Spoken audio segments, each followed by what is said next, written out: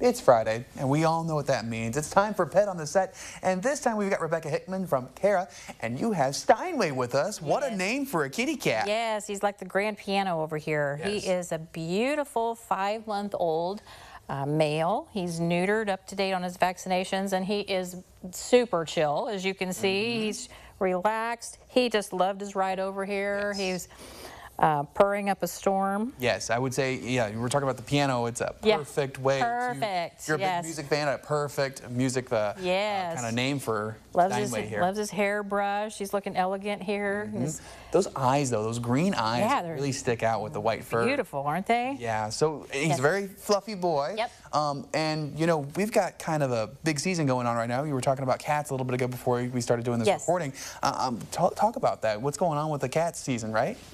It's kitten season. Yep. So uh, we'll be filling in with kittens. So cats like Steinway, who are getting a little bit bigger, need to find homes before all those babies show up.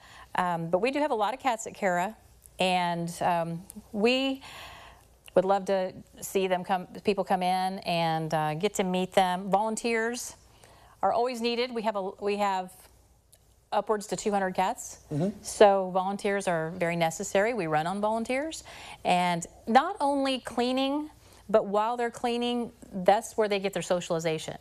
And so these cats, as you can see, are very friendly, mm -hmm. um, very socialized, and that's all from volunteers yeah, who are in the rooms and they stop what they're doing. They're petting, they're holding, loving, talking, mm -hmm. and so it's a lot more than just work. It's right it's the attention and affection, and we love the volunteers. And people don't realize that that's such a key component it's to crucial. helping these cats mm -hmm. because not all yeah. of these cats are used to being around humans that often, you know. And so yeah. with you coming in and volunteering yes. and socializing and petting and yes. you know giving them their space, but then mm -hmm. getting used to more people, yep. it helps them when they get adopted as exactly. well. Exactly. Um, and, and, they can bring children if, yeah. with them, and we have a lot of uh, volunteers that bring their children. They play with the cats while they're cleaning. It's it's a great combination. Now let's say I don't have time to volunteer, but I want to yes. still help. How can we still help? Yes. Oh, um, supplies are always needed, so that's a great way. Um, sharing the posts is is huge.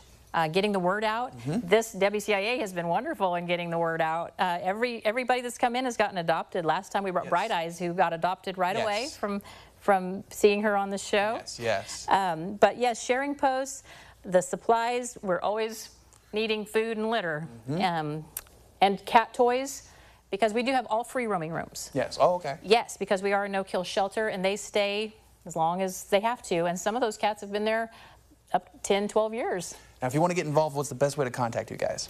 We have an email address, um, citizensanimalrescue at gmail.com, and the phone numbers. You can, either way, you can stop in. Um, but if you need an application, email and we reply with the application. We set up appointments. You can come in and meet the cats. You can um, volunteer, come in to volunteer. So yeah.